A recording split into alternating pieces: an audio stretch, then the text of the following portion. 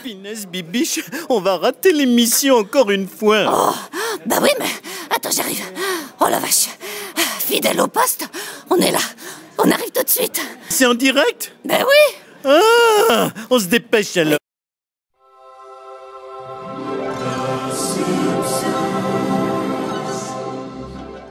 Les voix françaises des Simpsons, Philippe Pétu et Véronique Augereau sont nos invités. Bonjour à vous deux.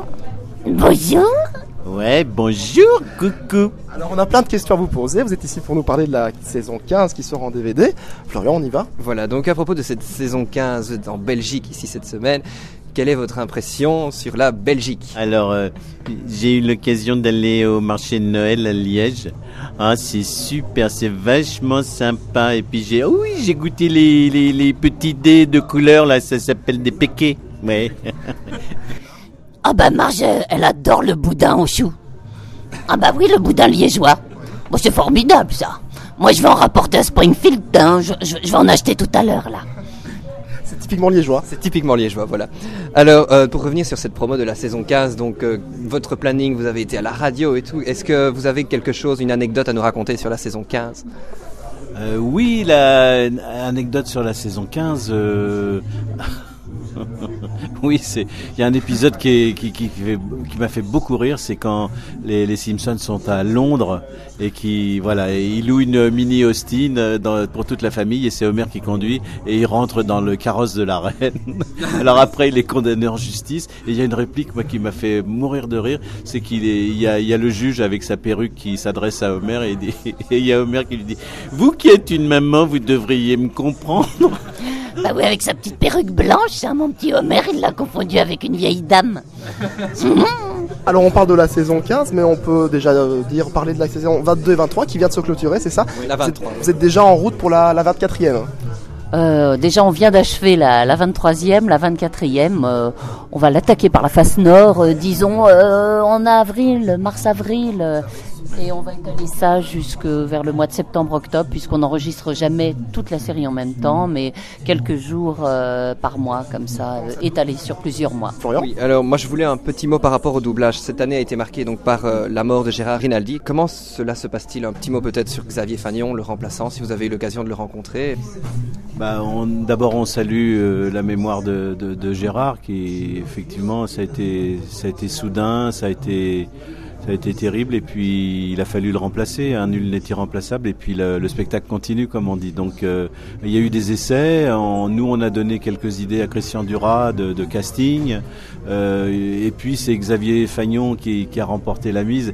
Et Xavier, c'est, bah, c'est, quelqu'un qui qui sait qui sait tout faire pratiquement il est imitateur il est il est chanteur il est et il s'est je crois qu'il s'est il s'est fondu là dans dans l'esprit Simpson euh, vraiment très très bien alors il a il y a des personnages encore qu'il ne possède pas encore tout à fait comme Monsieur Burns mais je pense qu'il va le trouver il va il va trouver. Mais déjà c'est un immense apport parce que en plus Xavier va amener des choses je pense à la série. Il va oui il est plus jeune aussi et il va amener des choses parce que c'est il sait les accents il sait très très bien les faire il sait faire plein de choses. Véronique va- elle peut euh, rajouter quelque chose? Oui, je voulais rajouter quelque chose euh, par rapport euh, justement, par exemple, prenons le personnage de Monsieur Burns qui était interprété avant Gérard par Michel Modo.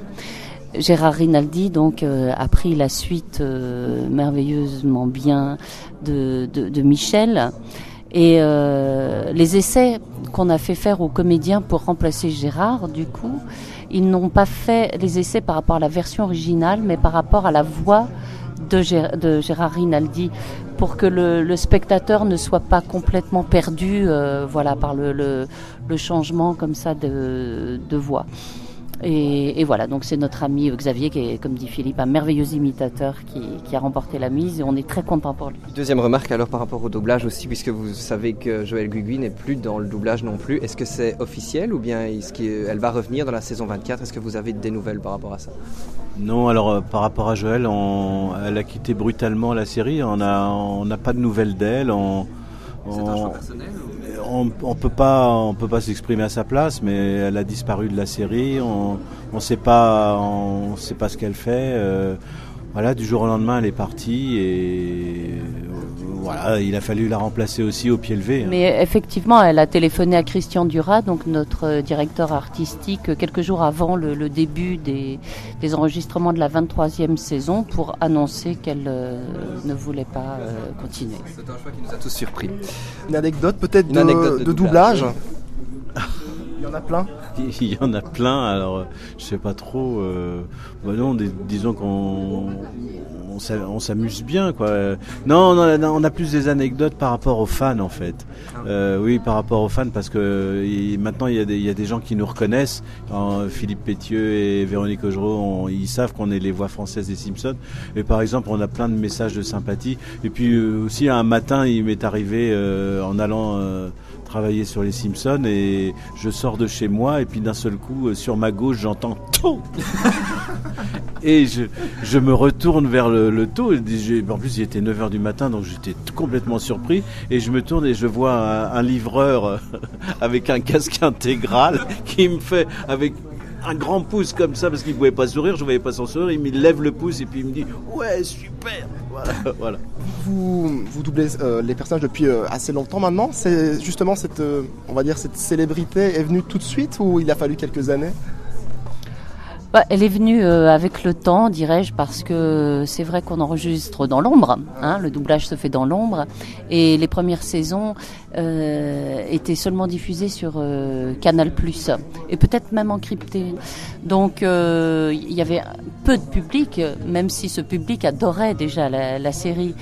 Et ce qui a vraiment euh, sorti le, les Simpsons et nos petits personnages de l'ombre, c'est vraiment le film et puis nos voix parce qu'on nous a mis en avant à ce moment-là euh, pour la promotion du film.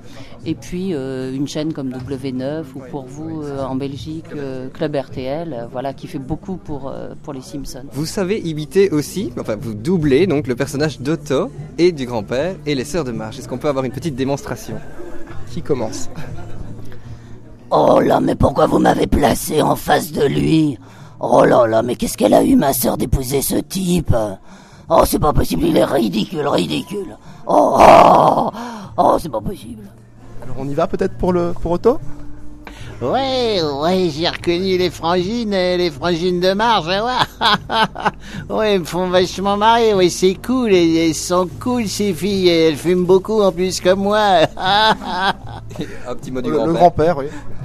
Ah oui, alors je parlais justement des sœurs de Marge. C'était en 1945 que ça a commencé cette histoire. On était en Normandie justement avec mon régiment et à ce moment-là les...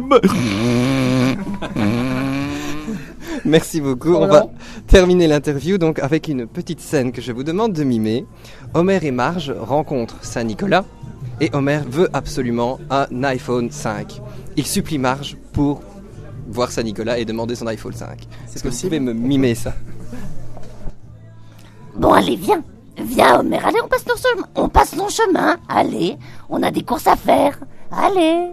Ah, mais attends, Marge, je vais demander à Saint-Nicolas un iPhone 5. Ah. Non, non, non, tu l'embêtes pas, il est là pour les enfants. Uniquement pour les enfants. Ah, mais non, il a plein d'iPhone 5 dans sa hotte, euh, le Saint-Nicolas, là. Attends, je vais discuter avec lui. Non, non, mais ça, c'est pour tout le personnel. Ah, je- bon ben, ça fait rien, je vais lui piquer. Oh, Homer. Et Bravo, un petit- bravo. Attends, j'aimerais juste un petit Ouh, pinaise. Ouh, pinaise. Merci beaucoup. On vous remercie en tout cas Merci d'avoir répondu à nos beaucoup. questions. Et puis bonne fin de promo. Bonne fin de-